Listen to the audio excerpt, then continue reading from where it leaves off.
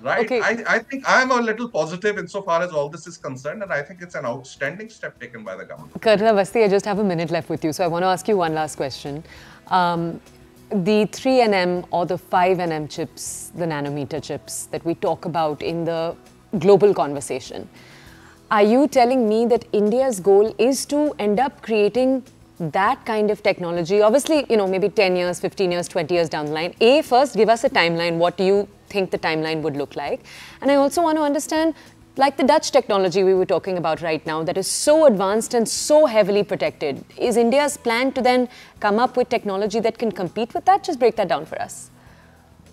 Right. Two questions. One is, uh, I'll, I'll take the second one first.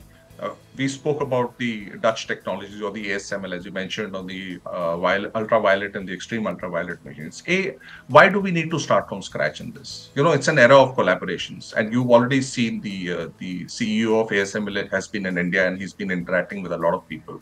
In case we are, as it is, uh, you know, in touch with so many other for friendly foreign countries, we have uh, binding MOUs with them. So why would you want to, you know, start from scratch? That is Hmm. one point. So if you can collaborate, why not?